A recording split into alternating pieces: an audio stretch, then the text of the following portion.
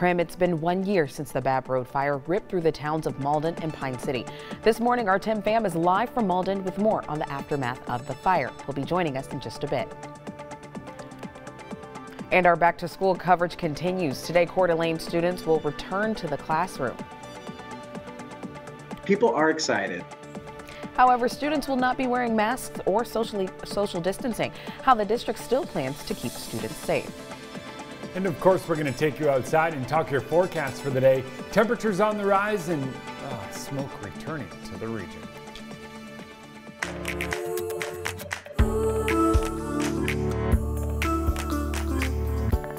Up with KREM begins now.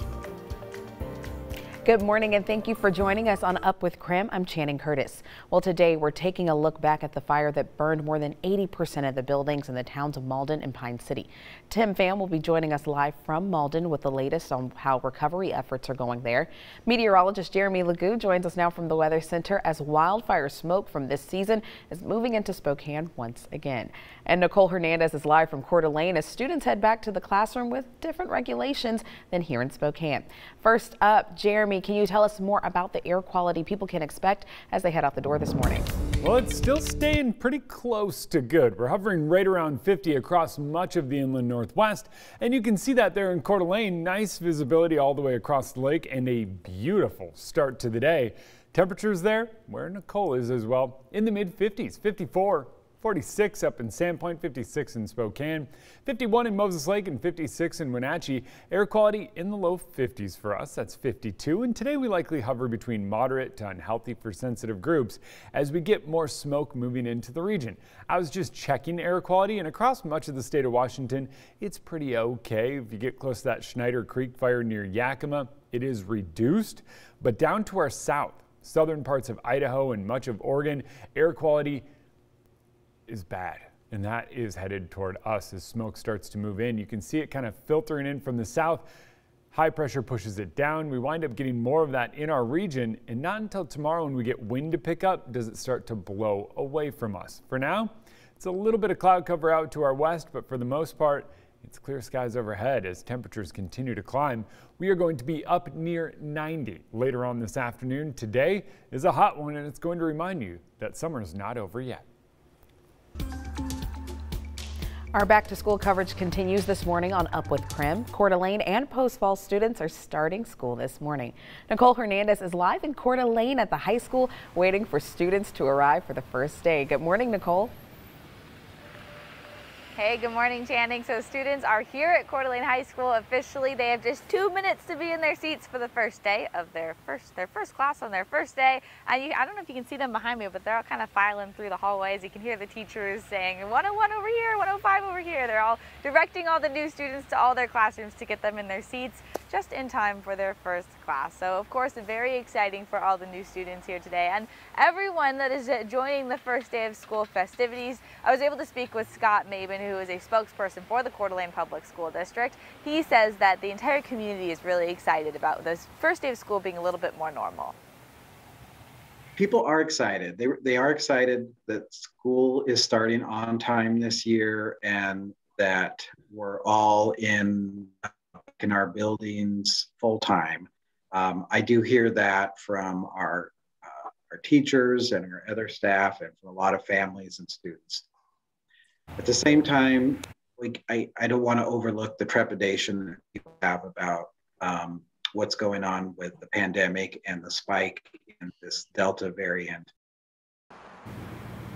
Now, Maben says they are paying attention to what's happening in the local hospitals, especially with children. And as school gets going, there's a concern in the community about COVID-19 outbreaks in classrooms specifically. The district says that they are ready to go back to online learning if they absolutely need to. As of now, though, they are not requiring masks. The district also will not be providing official testing for students who have been exposed to COVID-19, but they will have take-home self-tests available at their schools. Plus, there will be resources for families as to where they can find other COVID-19 tests in the community. Maben says that when it comes to quarantine protocols, their nursing staff will help determine if and when a student needs to quarantine away from school. There's been a lot of debate in the community about how Coeur d'Alene Public School District is dealing with these COVID-19 protocols and guidelines here. Uh, like I mentioned, debate on both sides, and Maben says they are listening to both sides, and ultimately it's up to the board to vote to decide what happens next. In Coeur d'Alene, I'm Nicole Hernandez. Now, other school districts in our area are also heading back to school. Mead High School students will be back in the classroom with masks today. The regulation remains in place despite the school district's letter to the governor. And students attending Central Valley schools will start school tomorrow. Now, elementary school students in Moses Lake are also returning to their classrooms today, and a new elementary school there is having its grand opening. Take a look at this. Here's a look at what the new place looks like. It's called Groff Elementary and has been under construction for 14 months now. There have been a few delays, but the building is done and it's ready for the kids to start this morning.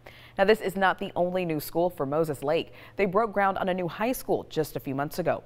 Groff Elementary is having its official ribbon cutting ceremony at 8.15 this morning, and then students will start showing up at 8.40. We were able to speak with the new principal, and she says the community has been really excited about this new building.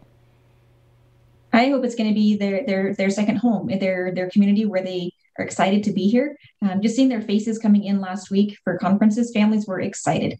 Uh, they didn't care that there was still some construction stuff going on here and there. Um, they were just excited to be here and be a part of a new community. Now, all Moses Lake students and staff members will be following the state's mask mandates. They will also follow testing and quarantine protocols. Right now, our Tim Pham is live in Malden as today marks one year since the town and Pine City were nearly destroyed by a wildfire. Tim, I understand you have the latest there on recovery efforts. How is it going this morning? Hey, good morning, Channing. Yeah, it's going to take a long time to fully recover as this really this fire was devastating and destroyed homes and businesses. Where we're standing right now is the post office or what used to be the post office. Now the post office is in a nearby community until they can rebuild their public service building. But I want to point something out to you. Our photographer Nate noticed this sunflower uh, kind of growing in between some of the rubble here and I just thought this was such a beautiful illustration of what this community is going through right now. Some beauty from ashes right now and thinking about how this is that sign of hope, of the hope that is to come for this community as they begin that regrowth of their community here in Malden because yeah, it is just an absolutely devastating situation about what happened here one year ago today. So let's take a look back at what's happened in this last year because there's been so much from people who have stepped up to help, but then also the own people who lived here and called this home. They've spent so much time trying to make this feel like home once again. So this all was caused by the Babb Road fire. It destroyed 30, uh, it caused 39 Labor Day fires last year and 500,000 acres across Washington in just 36 hours. 200 residents were forced to evacuate. 67 homes were lost in Malden, 13 in Pine City. Now, July and August last year was actually a little bit cooler and not as active in terms of wildfires, not something that we've been used to over the last couple of years. At least that's what the Commissioner of Public Lands, Hilary Franz, told me in an interview on this one year anniversary. She told me that uh, some fire officials and forecasters were uh, cautiously optimistic. And then Labor Day came, and then there were those hurricane forced winds. We all remember that, that caused problems in Spokane, in Coeur d'Alene, and all over. But it didn't just knock down trees, it also sparked fires. In particular, in Malden, a tree was knocked down on an Avista line, causing the fire that burned the town to the ground within two to three hours. Now, the town only has eight volunteer firefighters, or at the time they did, and five of them were battling other fires nearby. So there were only three here in town able to protect the town as best they could. Franz tells me that she will never forget what she saw while touring the destruction in Malden not long after the fire. That tragedy is one that will live with me and is frankly the it's what the warning we've been trying to tell the rest of the state for a very long time that we have communities that are sitting with very, very high wildfire risks with limited resources in the air and limited resources on the ground. So we asked her, you know, when you say there are a lot of communities at a wildfire risk, just how many are we talking? And according to the Department of Natural Resources, right now there are more than 200 or 2 million homes in the state of Washington that are considered at a wildfire risk. So after touring Malden and seeing the destruction, Franz tells me that she told her team that they need to do better for the people of Malden and the entire state. Hilary Franz tells us that she worked to get a new fire truck for the town of Malden, as well as helped with FEMA response and getting them that funding, and also supporting smaller fire departments through the much needed funding they need.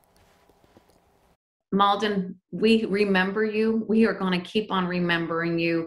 We're going to do everything to help you rebuild and stay safe in the years to come. And we're going to make sure that we're doing everything possible to prevent no more Maldens in the state of Washington.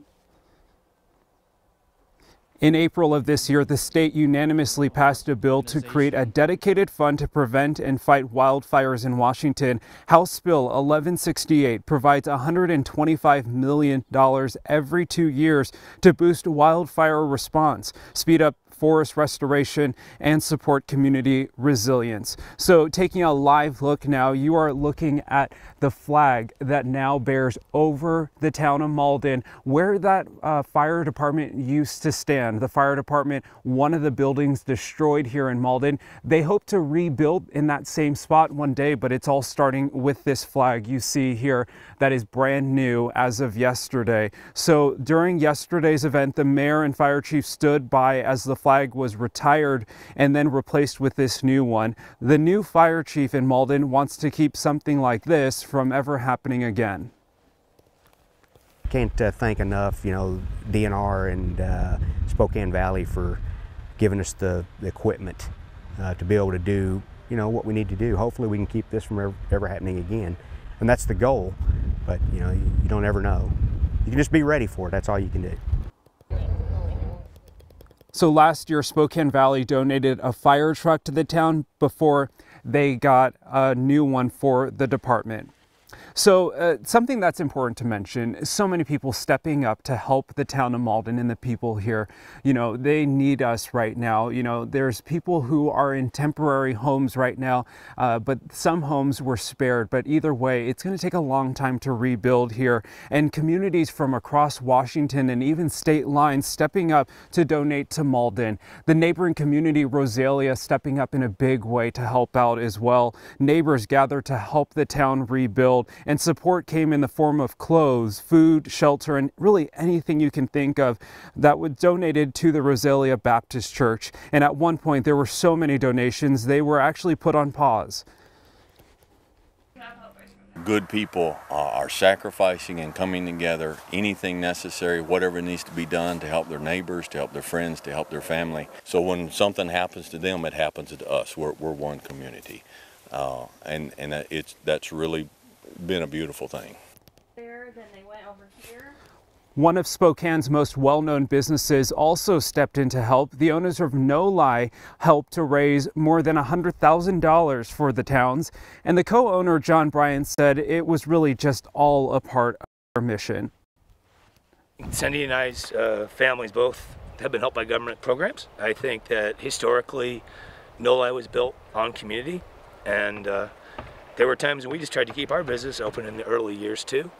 And you feel that when you're in that place. And I think today when we have the ability to help, um, with the power, I think, of the Spokane community and No-Li being a part of that with our community, we have the ability to raise it, again, with dignity and respect, that it becomes a cause.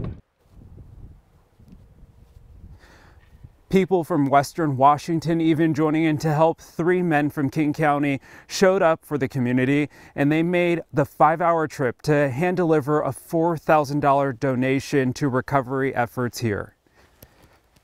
Responsibility that we need to do something because we live in Washington and uh, we feel that our neighbors need our help So they were a part of many agencies that came to help after the fire. So a lot going on here one year later and a lot of work still ahead. Just in a few weeks, we are told that a temporary fire department is expected to be uh, built here in Malden on the 15th of this month. And so that is happening very, very soon. But yeah, a lot of work ahead here on the road to recovery. In the meantime, you can always text the word fire to 509 448 2000. We'll send you the latest updates on the recovery efforts here in Malden. And then coming up a little bit later on Up with Krem on the CW22, we'll hear from the mayor of Malden and what he's doing to help make sure this community gets back to a new normal. For now, reporting live in Malden, I'm Tim Pham. Back to you. Now again, we will be commemorating the one year anniversary of the Babb Road fire all morning long with special coverage on Up with KREM. that'll continue all morning long again live from Malden.